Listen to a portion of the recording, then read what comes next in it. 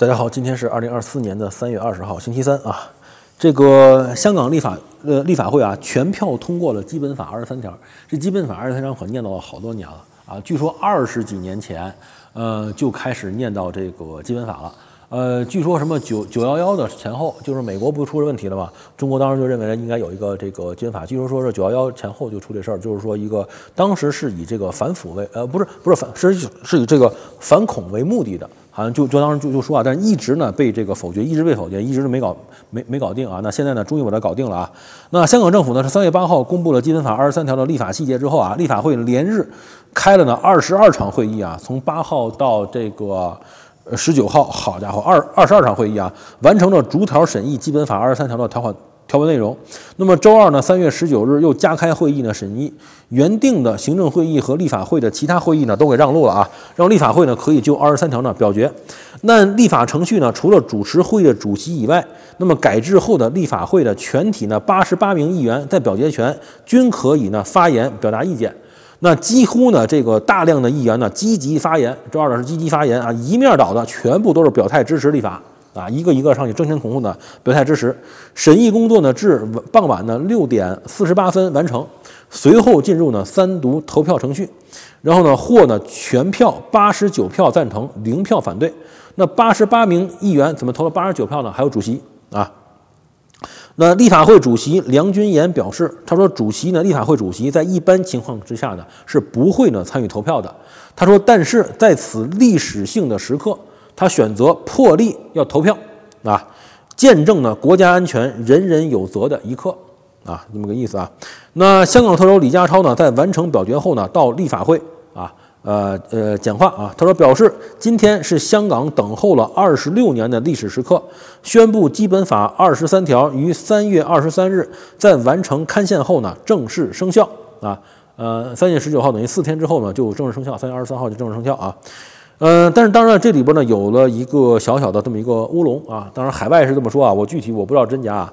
但是海外的这个媒体播报他说这样啊，他说中共的央视。早于立法会投票表决前，就发了这消息啊。立法会呢是在这个六点四十八分完成的呢，这个三读的这个投票程序。那央视呢在六点三十三分就在社交平台呢发稿，表示立法会已经三读审议通过了《维护国家安全条例》草案。那么也就是说呢，在他提前了十五分钟，提前一刻钟就知道结果了，但人家那时候还没出结果呢。啊，不，当然了，这个这个结果肯定就是大家大家心里都有数，这个结果肯定是过，但是反正就是这个是有点乌龙，我觉得央视有点太着急，下次可以再等一等啊，你哪怕等等个一分钟，等个五分钟的，对不对？等一等啊，不要这种东西没没必要抢那十几分钟，何必呢？就被海外的去嘲笑，那肯定嘲笑你嘛，你你搞的这什么鬼，对不对？啊，不过当然了，咱也别这么说啊，你知道吗？加州投票大选，每一年啊，投票大选的时候不都他们不都搞搞搞。就是十月三号、十月五号大选日夜，晚上不都是那搞这个？就各个电视台不都在搞这个这个呃选举的这关注吗？就每一次都是，加州一说开始，下一秒说加州获胜，从来没数过票，这么多年了，我在我来美国这么多年，加州没数过票，每次就是这一秒一说开始，下一秒就说加州民主党获胜了，就完了，没有悬念，每次就就只有加州每一次都只有一秒钟的选举。啊，但是呢，你得承认，那人家好歹也走了一秒了，对不对？你哪怕是四十八分零一秒呢，你懂吗？就是说，虽然大家都知道结果，那加州那个不也是嘛，也是都知道结果嘛。你包括这次初选不也是嘛？川普一选举，经常就三分钟之后就宣布川川普获胜了。你知道吗？三分钟点了个百分之二、百分之三的选票，说好川普获胜了就完了，你后面就不用不用再点了，就就就当然这种东西也也是这样的，就大家大家都都是如此，大家都心知肚明，肯定是川普赢，黑利肯定没没机会，对不对？所以呢，但是你也没必要提前几分钟去宣告嘛，对不对？所以反正说说这意思啊，都差不多。那人家好歹还等了一秒钟，还等了三分钟呢，对不对？人也没提前去说，对吧？你提前说什么呢？对不对？好，那不管怎么着吧，这个用了十二天呢就通过，从三月八号到这个。呃，十九号啊，那么说上一次呢，香港国安法立法过程呢，持续了两个月。那期间呢，北京和香港呢，有不同的多个这个官员呢，被西方政府呢制裁，所以呢，也给予了时间让一些敏感的外国组织呢撤走。所以说，他说这次呢，快刀斩乱麻，就二十三条呢完成立法，是吸取了上次的教训，使得西方呢来不及采取行动。那这种说法呢，我觉得我我持一个怀疑态度。为什么呢？就是说，那你现在立法完了之后，美国就不制裁了吗？我相信美国后面还是该你该制裁制裁呗，对不对？他拖两个月你要制裁，他十二天通过了，你你就不制裁了吗？我觉得你你不可能就不制裁了嘛，对不对？那他那他要一秒钟，你你怎么样？你还你还表扬他，还还鼓励，还发个还发个奖杯给他嘛？对，这跟时间快慢没有关系。对，你美国该制裁制裁，我我我我不认为两个月就制裁，十二天就不制裁。对，跟那个跟这跟时间有关系吗？就不是不是按时间说的啊。但是呢，有的确有可能，就是说呢，让一些地方呢不好跑。为什么呢？说自由亚洲啊，之前就得到消息了啊，说内讲内部消息啊，二月下旬已经通知了，三月底将撤出所有香港员员工，在四月中之前呢关闭办公室，部分员工呢将调往台北呢或华盛顿。那这样子的话呢，如果是三月二十三号生效的话呢？那他们这两天就忙了，你知道吧？他们原先可能觉得呢，三月八号不提出来了吗？估计跟上次一样搞两个月，可能搞到五月八号。但是他在四月中之前呢跑路就可以了。那现在看来呢，可能三月二十三号之前就得跑路，不跑路可能走不了，你知道吗？所以赶赶紧跑，这个有可能，这个倒倒倒有可能是他来来不及跑啊。这个，那不管怎么着吧，美国国当然这个东西他们就说了，说你说这个自由亚洲和美国之音担心什么？自己有什么违法犯罪行为吗？不知道啊，反正说点意思。接着说啊，这个美国国务院的副发言人啊，帕特尔表示说，美国认为啊，香港通过了二十三条，令这个曾经开放的社会呢加速封闭，并指出呢，正在分析二十三条呢对美国公民以及美国利益的潜在的这个风险。啊，呃，正在评估啊和和分析啊，但是我想美国后面肯定会采取一定的一定的行动，不会一点行动都没有的，意思意思也会制裁个一个人俩人的吧？我觉得啊，那中国外交部指啊说，美国自己出台了大量的维护国家安全的法律，但是呢，对香港基本法第二十三条立法呢泼脏水贴标签儿啊，嗯，当然很多人就不了解，说美国其实也出台很多法律，很多人不了解。我告诉你啊，我我给你举个例子好不好？其实这个就就没没有说过啊。去年三月的时候，我们好像没录过这个视频啊。我告诉你啊，去年三月的时候，美国通过了一项法律，叫什么法律吗？你知道在中国有那个 VPN 翻墙吗？一帮反贼啊，翻墙出来骂老公、骂习近平，对不对？一帮反贼翻墙出来啊，在中国抓了之后判判判多少，知道吗？啊，理论上来讲应该是好像不不能超过一万五千人民币，但是呢可以没收非法所得。所以有一个人是翻墙出来干活的嘛，所以没收非法所得，没收一一百多万人民币，还记得吧？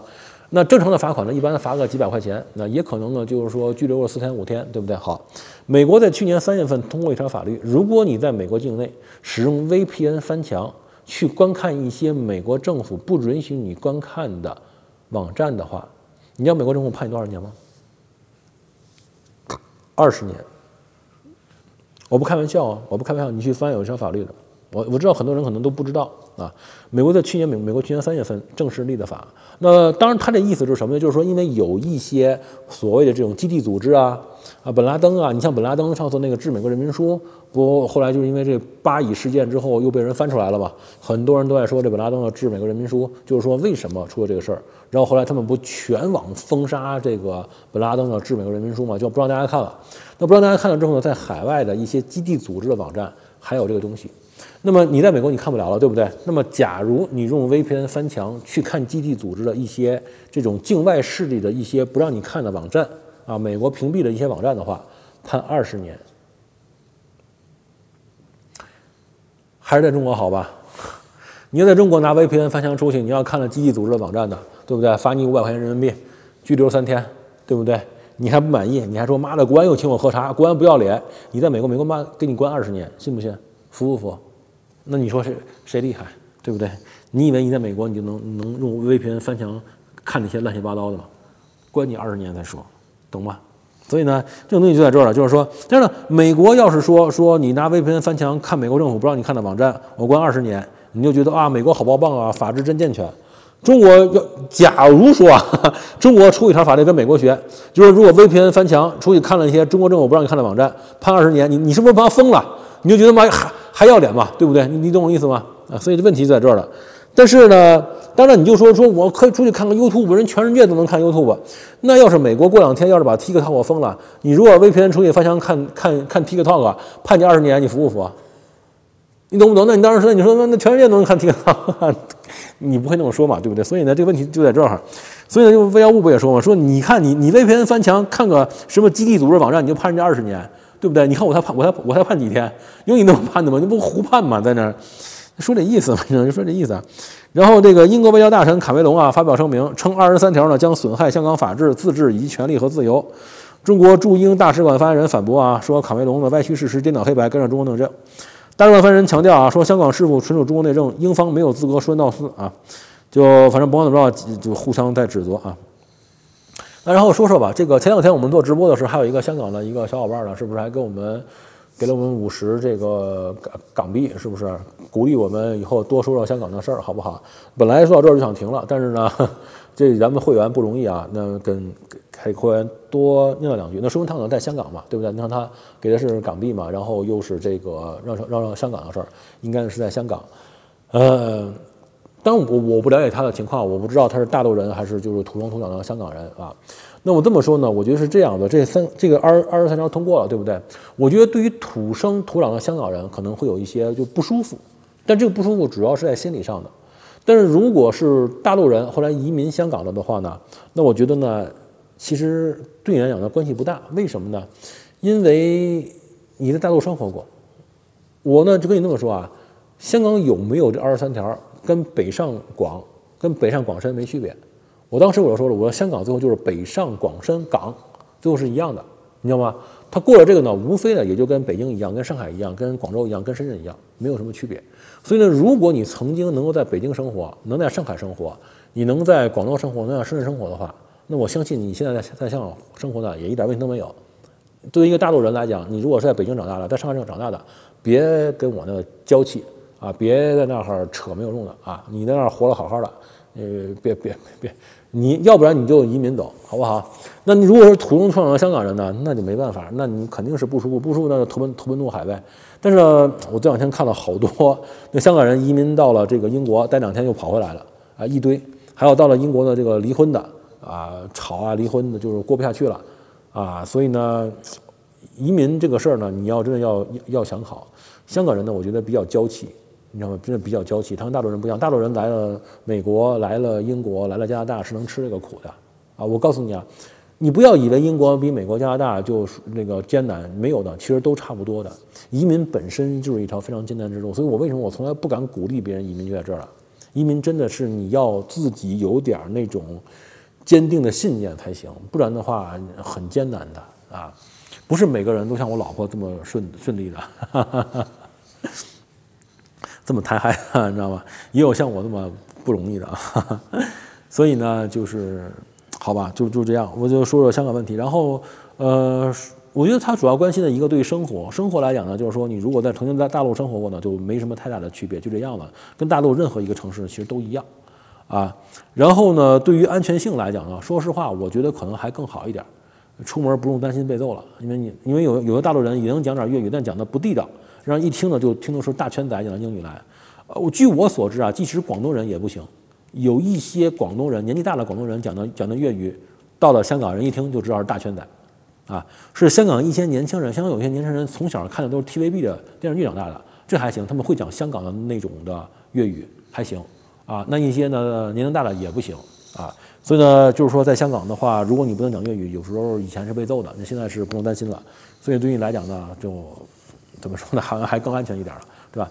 那另外一个担心的呢，就是这个从社会治安这种之外呢，也就是这个，当然了，第一个呢，就是说关于关心言论自由，言论自由就就就就没有了。但是呢，跟你在上海、北京、深圳是一样的，呃，社会治安呢可能还会更好一点。这个说实话，而且呢，以前呢，就是说老共因为手伸不进去，可能还需要一些黑社会呢帮着，就是说搞一些事情，所以对黑社会还有一点点容忍。那么以后来讲呢，我告我告诉你啊，对黑社会就是零容忍。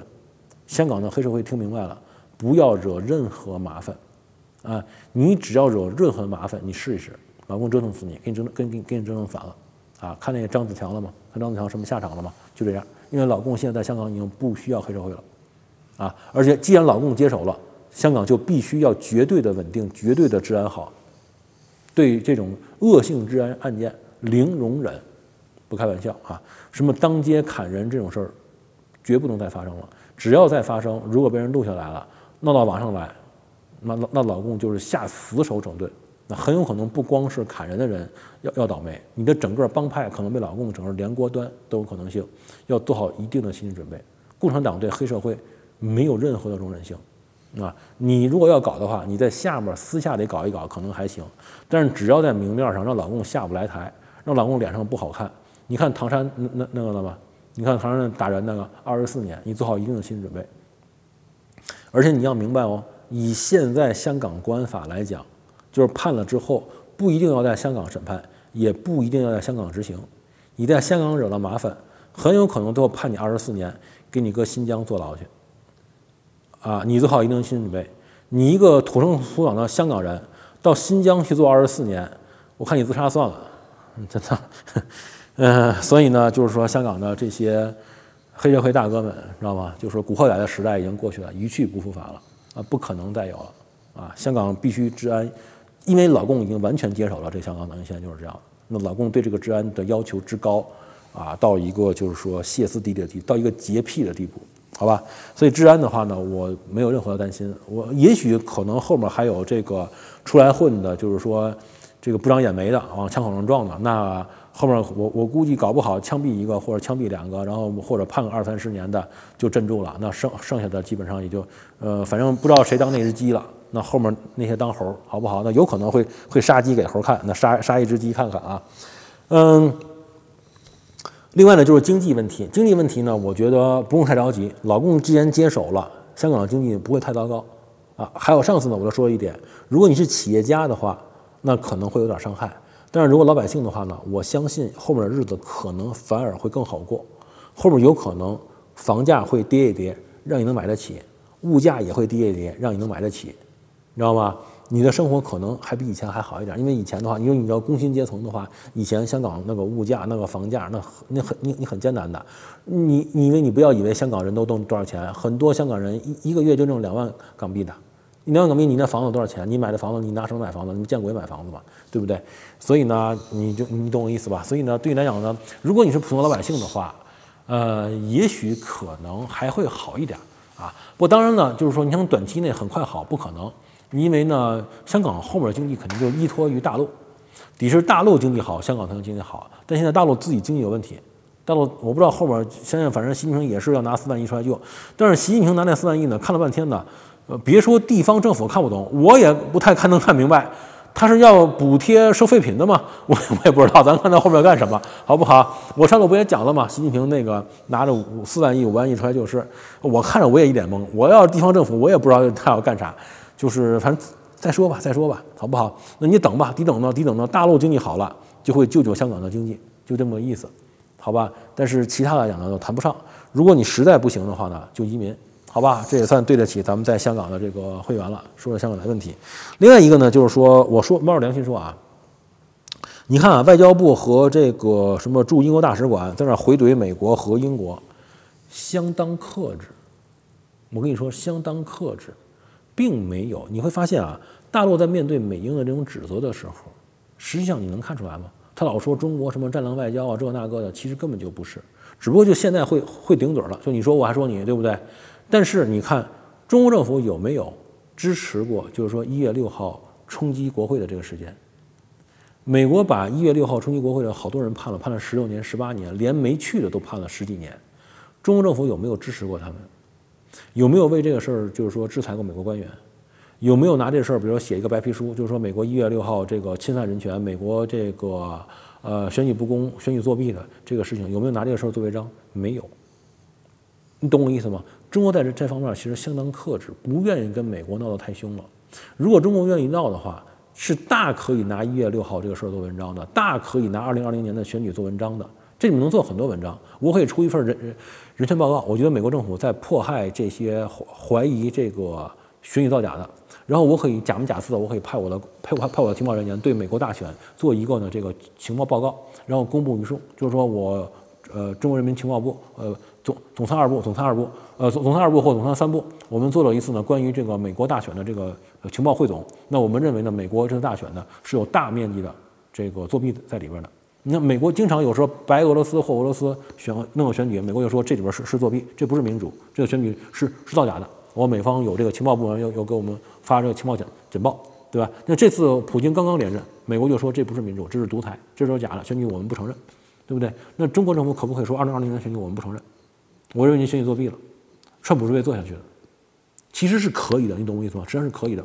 这次这个普京这个夺了选票，这个上面不有有记者招待会，有记者问他就说你美国还一堆人在在质疑呢，对不对？普京都都都都回嘴了，对不对？但是普京现在跟美国就是彻底撕破脸了嘛。但中国现在不愿意撕破脸，所以中国不提这些事儿，就是说明什么？不想拿这儿做文章，就干什么？实际上在克制。你能看得出来吗？就是中国在回怼美国的时候相当克制，其实有很多东西是可以大做文章的，但中国没有做，不愿意去做。那对于英国呢？爱尔兰是不是又要公投要要独要闹独立？中国政府有没有公开表示支持爱尔兰的议会，支持爱尔兰独立？没有，懂我意思吗？其实相当克制，在这些事情上是可以做很多文章的，懂吗？是可以做很多文章，但中国政府有做这文章吗？没有做，只不过就你说我说你就完了，就就只是回个嘴儿。就仅此而已，但就到这会儿了，很多人就说就是战狼外交了。说实在的，还没支持 G 六合唱团呢，知道美国这六合唱团吧？就 January 六嘛，一月六号合唱团，知道吧？川普不跟他们还搞了个合唱嘛，知道吗？还没支持一月六号合唱团呢，还没有支持爱尔兰独立呢，对不对？你你要是中国要开始搞搞，你等着，你再过几年，如果闹得再厉害了，中国搞不好拿这件事情做文章，知道吗？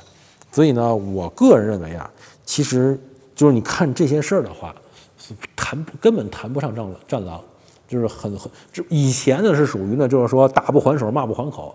现在是反正你打我一下，我你打我干什么？对不对？你骂我，我还骂你呢，嗯，知道吗？儿子骂爹。啊，就是现在是敢把这阿 Q 精神发扬出来了，以前呢连阿 Q 精神都不敢发扬，你懂吧？所以呢完全谈不上战狼。现在只不过呢就是那种阿 Q 那种，知道吗？妈的又被老又又被儿子打了，他就是这种感觉的，你懂那意思吗？也就这样。但是呢有没有朝他的那个软肋刺过去呢？并没有，知道吧？所以我告诉你，中国政府其实你看看就都通过这种事能看出来相当克制，好吧？那这期讲到这里吧，谢谢大家。